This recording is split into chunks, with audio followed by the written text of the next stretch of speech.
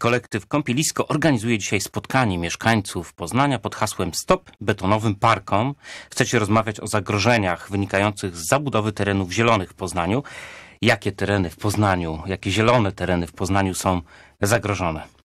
No więc e, spotykamy się dzisiaj z mieszkańcami o godzinie 18.30 w Parku Kasprowicza na terenie kąpieliska letniego, po to, żeby rozmawiać e, o różnych przypadkach terenów zieleni, które prawdopodobnie w najbliższej przy, przyszłości będą przeznaczone pod zabudowę i najczęściej będą to obiekty sportowe. Przypadki, o których dzisiaj będziemy rozmawiać, są dosyć różnorodne, natomiast łączy je jedno, mianowicie sprzeciw mieszkańców.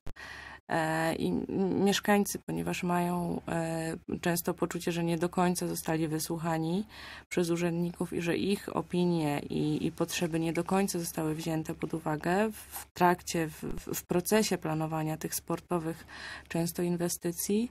E, dlatego spotykamy się dzisiaj, żeby wspólnie o tym móc opowiedzieć sobie nawzajem, żeby móc głośno powiedzieć, co na ten temat myślimy i czujemy.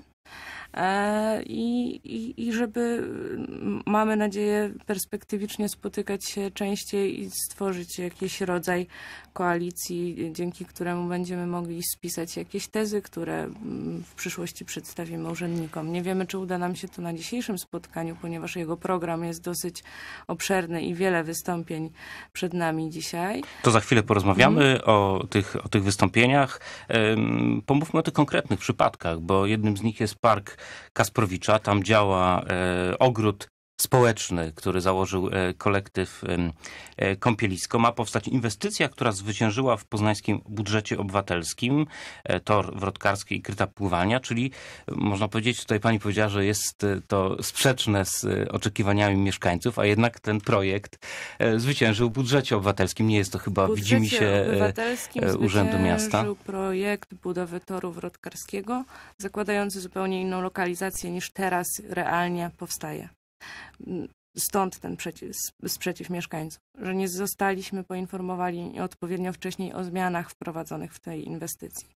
E, wszyscy byliśmy w szoku, że inwestycja budowy e, obiektu sportowego będzie wiązała się z wycinką 348 drzew na terenie Parku Kasprowicza. Czyli rozumiem, że ten projekt obywatelski e, został zmieniony w trakcie, tak? Tak, dokładnie. Mhm podjęto taką decyzję, że, że po prostu inwestycja będzie dużo, dużo większa i, i zajmie tak naprawdę cały teren, gdzie, gdzie mamy do czynienia z tym starodrzewem i, i, i tak naprawdę to są najcenniejsze miejsca biologicznie na terenie całego parku. To jest jeden przypadek. Jakie są inne jeszcze te obszary zielone, o których będziecie rozmawiać dzisiaj? E, czy będziemy też pokazywać e, zarówno te tereny, które są zagrożone jakby inwestycją, ale też będziemy sieciować mieszkańców, pokazując też pozytywne rzeczy. To wyjaśnijmy, co to znaczy sieciować, sieciować Sieciować, czyli będziemy po prostu też rozmawiać o różnych terenach, pokazując też dobre praktyki. Czyli między innymi będą też przedstawiciele Stowarzyszenia Zielona Starołęka z Starołęki Małej, gdzie też um, właściwie jedyny fragment z wysoką zielenią jest planowany do zabudowy przez e, boiska sportowe. E, będziemy mówić też o Parku Rataje, który powstał, owszem, ale tutaj też był głos społeczników i też przede wszystkim profesjonalistów, czyli ludzi zajmujących się na co dzień e, kształtowaniem terenów zieleni, mówiących o tym, że projekt powstał, owszem, ale jest niewystarczająco dobrze na przykład przemyślany.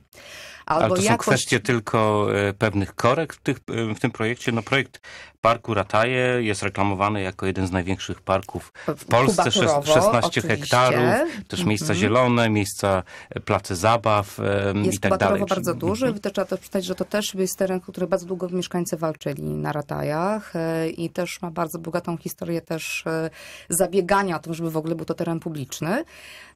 Ale gdy mm, przejdzie się po tym parku, to można odnieść takie wrażenie, że jednak skala tej zieleni jest dostosowana do skali terenu. Owszem, może powiedzieć, że są posadzone małe drzewa, bo to dopiero będzie się rozrastało i o tym jakby nikt nie, tutaj nie dyskutuje. E, kwestia przykład posadzenia zbyt małej ilości wysokiej zieleni względem ilości przestrzeni, e, które są zabrukowane, stąd też e, taki artykuł w Gazecie Wyborczej o betonowym parku i stąd też ta nazwa naszej spotkania między innymi. No nazwa jest taka dosyć zatrważająca. Jest zatrważająca. Ale to chyba ale... tak nie jest do końca, że te parki są takie całkowicie betonowe. Ale tutaj też przykład, że Mhm. powstał park, ale na przykład nie do końca potencjał został odpowiednio wykorzystany. Owszem, można wprowadzić korekty i też o to nam też chodzi, żeby nie tylko krytykować, ale pokazywać też możliwości działania, ale to też jest wspólne, że tutaj gdzieś głos tych mieszkańców nie został do końca dobrze wysłuchany. To jeszcze przejdźmy do przypadku boiska e, Orlik na Starołęce, bo to, te, tego też dotyczy wasze spotkanie. Tutaj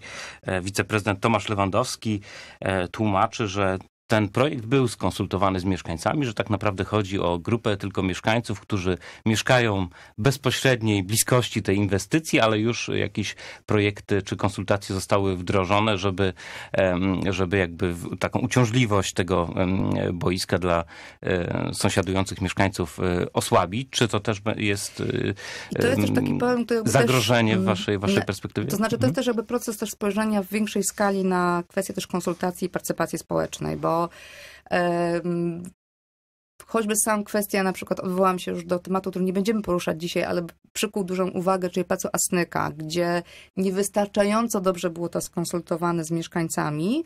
Gdy ruszył ten proces budowy, mieszkańcy nagle się zorientowali, że z czegoś, co było placem zabaw, będzie powstanie zupełnie inna forma e, tego terenu e, zieleni i tak naprawdę dzieci miały być wyrugowane z tej przestrzeni. Czyli cały czas wracamy do tego, też uczulając, pokazując, że gdzieś tam ta partycypacja społeczna jeszcze nie do końca jest dobrze prowadzona że czasami na przykład mieszkańcy nie wiedzą o tym w ogóle, że są konsultacje do planów miejscowych robionych, albo na przykład są konsultacje robione w małym e, gronie, na przykład tylko i wyłącznie radnych osiedlowych, którzy owszem reprezentują mieszkańców, ale powiedzmy nie wszystkich, tak? Czyli chcecie uczulić mieszkańców, żeby brali e, tak, żeby większy brali... udział w tym e, planowaniu. To ja zapytam, jak wygląda to w szerszej perspektywie zieleni w Poznaniu, bo wydaje się, że w Poznaniu tej zieleni jest jednak dosyć sporo na tle innych miast, a tak dosyć alarmująco to przedstawiacie, że w mieście zaczyna brakować zieleni. Jak to jest z zielenią w Poznaniu? Być może w całym Poznaniu, w skali miasta jest rzeczywiście dużo zieleni, ale chcemy zwrócić uwagę na to, że tej zieleni z czasem może stawać się coraz mniej, jeśli nie będziemy wyjątkowo czujni. I, i po to jest to spotkanie przede wszystkim. My też cieszymy się, że e, udaje nam się rozmawiać z urzędnikami, udaje nam się z nimi umawiać na spotkania, udaje nam się e, prowadzić e, różnego rodzaju rozmowy, że widzimy, że po stronie urzędników też ta otwartość jest. To nie jest to tak, że za każdym razem spotykamy się z, e, z, z, z jakąś obojętnością z ich strony. Nie, mianowicie ma, mamy, mamy poczucie, że, że, że udaje nam się e, dotrzeć też z, z naszą opinią, z naszą ekspertyzą ornitologiczną chociażby, którą też zrobiliśmy na tym terenie, akurat w Parku Kasprowicza. E, nie my bezpośrednio, tylko Stowarzyszenie Ornitologów, ale mamy poczucie, że, że, że, że wystarczy po prostu spróbować podjąć rozmowy i że udaje się dochodzić do różnych kompromisów. Udaje się nam też usłyszeć różne e, propozycje. E, więc, więc to nie jest tak, że spotykamy się po to, żeby przeciwko komuś. Czy nie chodzi o to, żeby protestować, ale żeby chodzi uczulać, to, żeby... zwracać uwagę na te problemy i też, też urzędnikom e, miejskim. Tak. To może na koniec naszej ale rozmowy. Też mieszkańcom, bo też będzie przykład na przykład z Ratej Pozytywnych, gdzie była dobra współpraca pomiędzy mieszkańcami, Radą Osiedla, mm. Radą Miasta i udało się teren e, tak zwanych traszek ratajskich tak uchronić, więc też pokazujemy też mieszkańcom pozytywne jakby działania, tak? Jakby uczulamy na to, że ten dialog, bez tego dialogu nie uda się po prostu wypracować konsensusu. To może na koniec naszej rozmowy powiedzmy, e, co dzisiaj w ramach spotkania, e, o czym szczegółowo będziecie rozmawiać? Będziemy rozmawiać o Parku Kasprowicza oczywiście, będziemy rozmawiać o terenie Starońki Małej, o Parku Rataje, o Sołaczu, czyli też o tym głośnym sytuacji, kiedy przez parę lat temu e, między innymi kolektywy Rozbrat, ale też specjalistami, przyrodnikami mówi, protestowali przeciwko zabudowie klinu zieleni, jakim jest, e, jakim jest Sołacz i też o nowych inwestycjach e, na Sołaczu.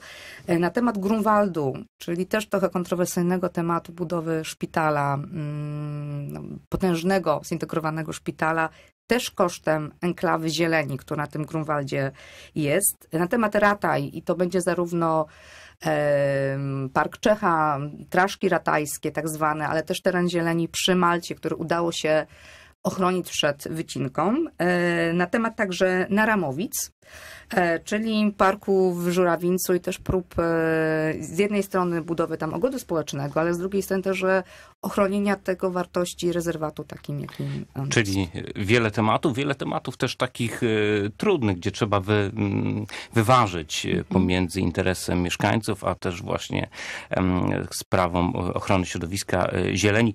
Bardzo dziękuję za rozmowę.